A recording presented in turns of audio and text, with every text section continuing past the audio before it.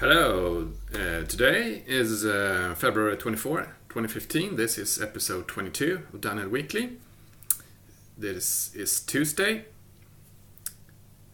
Tomorrow is uh, curl, curl release day, so uh, 7.41.0 will be released tomorrow.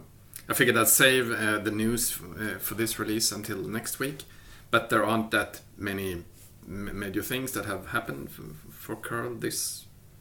Um, this round, this eight week period. So there, there's not a lot of news. There's a lot of bug fixes, and I have a lot of more bug bugs uh, in Bug Tracker and pending fixes. I'm, working on several things myself. so uh, I, I, mentioned last week that I wanted to tell you a little about about VTLS, the little project to attempting to split out the um, virtual uh, API within libcurl that separates um, that is actually an internal API um, to to deal with the underlying actual TLS libraries, so that the code inside libcurl can basically ignore which library it, it, it uses and uh, just use this internal API instead. And we're working on this VTLS project to possibly make a separate project out of it so that other projects can reuse the same kind of effort and, and uh, spirit and ideas. So we've been working on this for a couple of weeks, or we've been debating and, and uh, struggled back and forth how to do it, how the API should work, and, and so on. What kind of some basics in the project really. I wouldn't say that we have gotten very very far. VTLS within libcurl is still not uh, separated out uh, extremely good, so it's still kind of tangled with a lot of libcurl stuff, so it has to be ripped out better, which makes it harder to make libcurl use it smoothly. We have to make some binding layer or glue layer to make sure that, however we ten, uh, end up use, uh, however we end up making VTLS, I mean the API for the new library, we still need to make some adjustments within libcurl to use the new one. And I would say that um, a bunch of the other uh, guys and, and um, team members in the VTLS project. They're from the wget project, and uh, uh, we're not entirely on the same um, level all the time on how to do things, how the API, sh- API should work, and, and things like that. So I'm not sure where where that is going to land. I'm going to push forward on that um, a, a while longer to see where we can end up but at the same time we're continuing uh, to get fixes and, and polish the libcurl code so of course everything in libcurl stays in libcurl uh, and we're going to work on that and improve it and polish it uh, as long as we uh, need to. And if vtls the separate project that might get another name by the time it actually becomes a real project. Uh, once that's kind of get somewhere and, and starts to become something that I believe in, then I could start uh, adjusting libcurl to actually use that. And then I would probably make uh, adjustment to use that as an alternative to the internal one uh, to start with so that we can get our feet wet before we actually take a jump. So I would imagine that for libcurl, um, that is still um, at some point in a fairly distant future. I mean, not short term at least. We'll see. Maybe things will end up differently. I'm open, uh, but um, I'm also kind of experienced with these kind of, of efforts from the past that it's not that easy.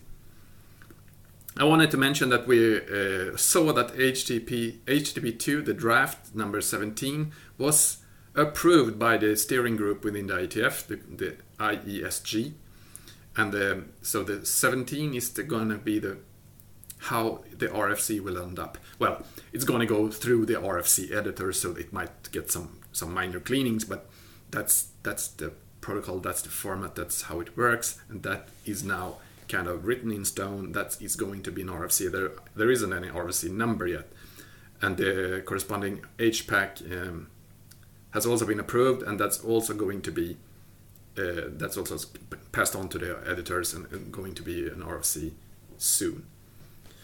Um, and and uh, because of that, because of that um, approve state, approval status, I also updated my HTTP2 explain document and put it up and tweeted about it and it hit the uh, Hacker News again, which is awesome.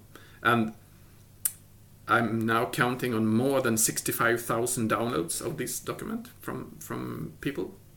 And of course, I'm aware that a lot of the, a lot of readers have downloaded multiple copies because I've uh, upgraded over time. So those aren't 65,000 unique readers, but still, and I, would say that uh, I'm kind of amazed still by, by that number. Cool. Um, I, I got these. I have the, my friend Peter in Belgium. He sent me these. A lot of curl stickers of all sorts of different uh, layouts and kinds. Look. Uh, I think it's roughly a bazillion of them. So it kind of, yeah, I'm not sure what to do with all these, but I'm gonna hand them out to people and, and friends at some point in time when I meet people. So anyway, I have one on my laptop now. I'm happy. So I'm gonna put that sticker race on hold for a while, I think, since now I have um, this huge pile of stickers to take care of and hand out anyway. Um, I'm to really make an effort again to, to make an libSSH2 release. We also have a um, security thing about um, a code in libSSH2, so that's one reason I want to get a, a release out. I want to handle the, the security thing properly and then get a release out and make the security advisory about the security problem and, and stuff like that. And also, it's been ages since we did a, since we did a, a libSSH2 release the last time, so it's really about time. Um, I, I I have this pen. I'm back again. You know this uh, Firefox bug that I've been working with all the time that checks for premature cutoffs um, and and uh, basically makes an error from that in Firefox. And now I my my patch now I I ended up detecting that I can can properly detect a premature cutoff gzip stream because when, when, when downloading gzip content, it actually has a kind of a footer in, in the gzip stream. So it's so when zlib or zlib, lib, libz, whatever that library that we're using internally in in uh, Firefox, it actually knows when it has has reached the end of a gzip stream, but it doesn't know that if we've reached the end of a deflate stream, which is roughly the same, but deflate very often doesn't come with a proper header and footer in the stream, so we can't really tell if we've gone to the end of the stream or not. So right now my patch is detecting gzip and it warns or returns error on, on cutoff gzip, but not cutoff deflate.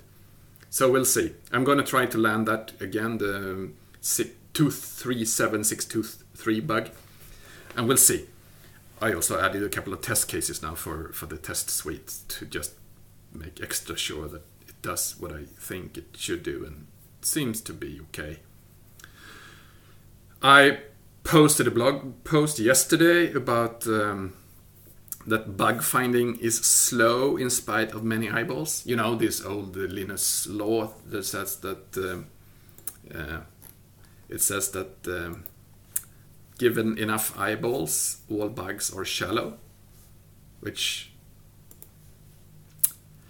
it depends on what you mean with eyeballs and bugs and shallow and everything. But clearly, I, I went through all the security-related bugs in, in curl that we've had through the time, through 16 years. We have 30 bug reports on that, or security vulnerabilities, and I decided to, to just look at those 30, which isn't a, a large amount to base any statistics on. So, sure, a large um, um, caveat there. But um, I, I, went through that since we have a lot of data on the. I have dates and the specific specifics when we added a bug, when we fixed it, when we got it reported, when we told the world about it, and so on. So I could actually just uh, in detail analyze these 30 bugs and see how long did each bug uh, stay in the code until they were fixed and, and so on. And on average, it turns out that we had these security related problems in 2,100 days each on average.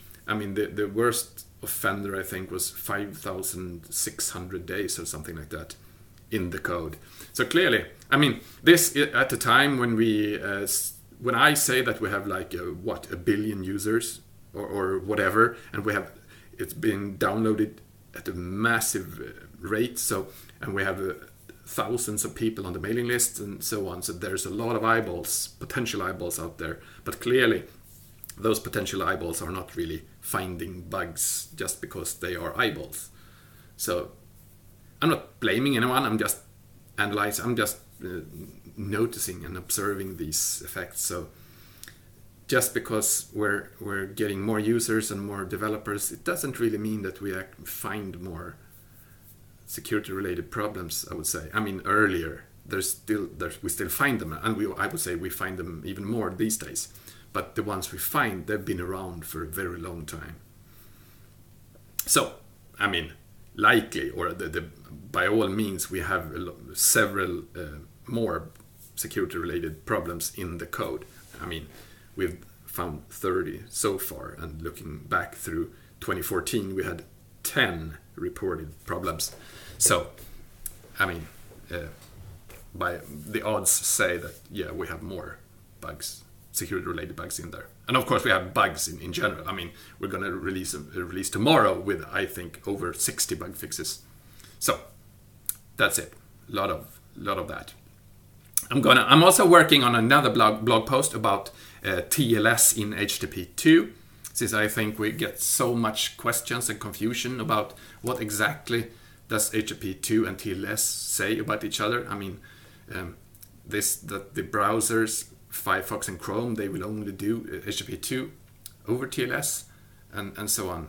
And actually, Internet Explorer has only has also only showed HTTP2 uh, over TLS. So, and, and at the same time, the spec doesn't say that you have to use TLS. So, and there's a lot of, um, I think, confusions and misunderstandings and, and a, a, bit of a um, mess sometimes. I figured I would, I would try to clarify that. So if you have any questions about TLS and HTTP2, those kind of together, uh, please uh, let me know and I'll try to include that. I'll, I'll make a post, I think, um, next week or so i'm gonna this is um, i'm going skiing at the end uh, of this week so I'm, I'm, gonna be a little bit less active gonna do the release tomorrow and then go skiing for the rest of the week basically just not do a lot of hacking at all that's about it for this week i'm still working on the navigator online thing slightly in, in firefox um, i haven't done so much about it but i know valentin my, my teammate in firefox is he has a, a lovely patch